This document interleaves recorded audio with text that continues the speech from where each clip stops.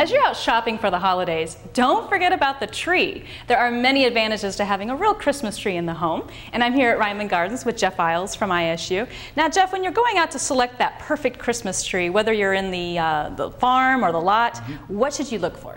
Well, there's all these trees look rather small when you're outside, and then you bring them home and they look really big when you get them in the house. So look at look at the size of the plant and fit it to the front room. That's okay. very important. Any special species you should look for? Well, there's there's a lot of choices out there. Uh, spruces we've used for many many years, but they tend not to have the best needle retention.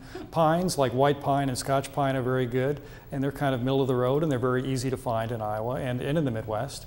And then of course the firs. I think firs are, are some of the best Christmas trees because they really hold onto their needles for a long time. You've got white fir, Douglas fir, and also Fraser fir, which is thought to be one of the Cadillacs of Christmas trees. Is that your favorite? That is. It is my favorite. okay. Now, when you bring it home, how should you care for it? Well, make sure you put a fresh cut on, on the base of the plant. You want the water to go up into the tree very quickly, very efficiently, and so making a fresh cut is very important. And then get it right into the Christmas tree stand. Make sure the stand never dries out. Always make sure there's plenty of water in the reservoir uh, because these trees will take up quite a bit of water uh, very, very quickly. Finally, think about the lights you put on the plant. Maybe the smaller lights are best because they, they reduce the heat load on the plant. I never really thought about that. All right, thanks.